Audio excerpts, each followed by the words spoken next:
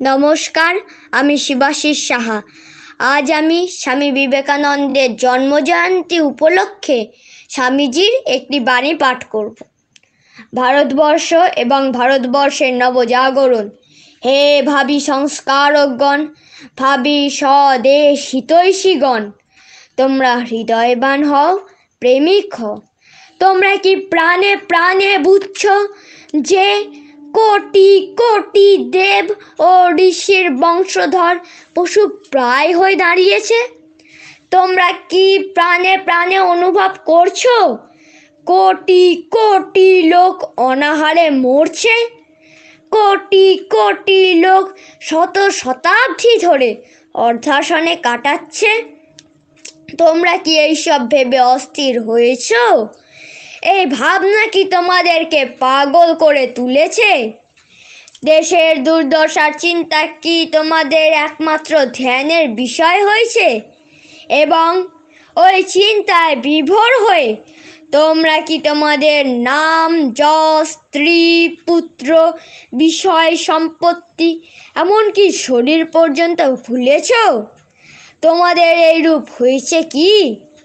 যদি হয়ে থাকে তবে বুঝো স্বদেশ হিতৈষী হবার প্রথম ধাপে মাত্র পদার্পণ করেছ।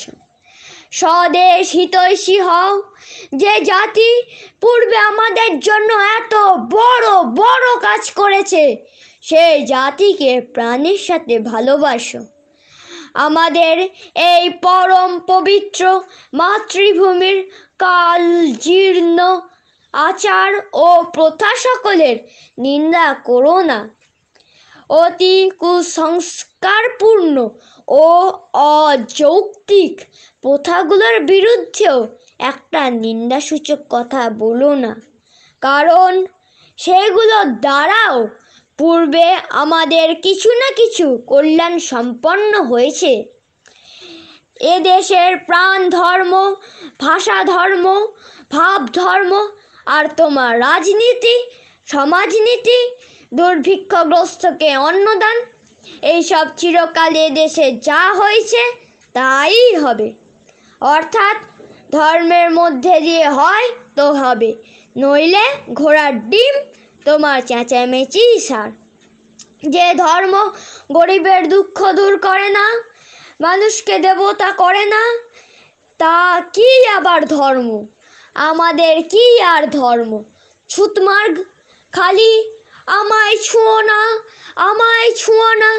হে হরি, যে দেশের বড় বড় মাথাগুলো আজ দু হাজার বৎসর খালি বিচার করেছে, ডান হাতে খাব কি বাম হাতে? তাদের অধগতি হবে না তো কার হবে? ধর্ম এমন একটি ভাব যা পশুকে মনুষ্যত্বে ও মানুষকে দেবত্বে উন্নীত করে। মানুষের মধ্যে যে দেবত্ব প্রথম থেকেই আছে, তার বিকাশই হলো ধর্ম। ধর্ম মানে শাস্ত্রপাঠ, তত্ত্বকথা কিংবা মতবাদ নয়। ধর্ম মানে আদর্শ স্বরূপ হওয়ার চেষ্টা করা এবং হয়ে যাওয়া। It is being and becoming পবিত্র আর নিঃস্বার্থ হতে চেষ্টা করো। তার মধ্যেই সমস্ত ধর্ম। তুমি যে ধার্মিক হচ্ছ, তার প্রথম লক্ষণ হচ্ছে তুমি ক্রমশ হাসি খুশি হতে থাকবে। কেউ যদি গোমরা মুখে থাকে, তবে তা বধ হজমের জন্য হতে পারে। কিন্তু তা ধর্ম নয়। ধর্মের রহস্য তত্ত্ব কথাও নয়, আচরণে। সৎ হওয়া এবং সৎ কাজ করা, তার মধ্যেই সমস্ত ধর্ম। যে শুধু প্রভু প্রভু বলে চিৎকার করে, সে নয়। যে ঈশ্বরে ইচ্ছানুযায়ী কাজ করে, সেই ঠিক ঠিক ধার্মিক। নীতিপরায়ণ ও সাহসী হৃদয় যেন সম্পূর্ণ শুদ্ধ থাকে। সম্পূর্ণ নীতিপরায়ণ ও সাহসী হ প্রাণের ভয় পর্যন্ত রেখো না। ধর্মের মতামত নিয়ে মাথা বকিও না। কা পুরুষেরাই পাপ করে, বীর কখনো পাপ করে না। মনে পর্যন্ত পাপ চিন্তা আসিতে দেয় না। পরোপকারী ধর্ম পরবিরোধী পাপ। শক্তি ও সাহসিকতাই ধর্ম। দুর্বলতা ও কা পুরুষতাই পাপ। স্বাধীনতাই ধর্ম, পরাধীনতাই পাপ।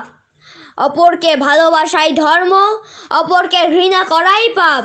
ঈশ্বরে ও নিজ আত্মাতে বিশ্বাসী ধর্ম, সন্দেহই পাপ। অভেদ ধর্ষণী ধর্ম ভেদ দর্শনী পাপ। নমস্কার।